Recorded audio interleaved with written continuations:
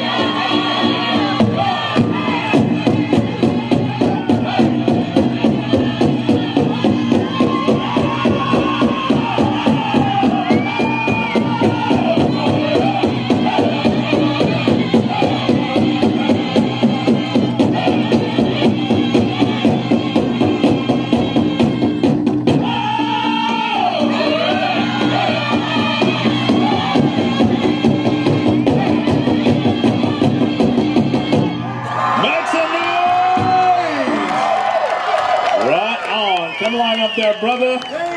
We need dancer 161. Come on out to the dance floor. You know him as Jarrett Yazzie. He has chosen Northern Cree. On the count of three, we're going to yell Northern Cree.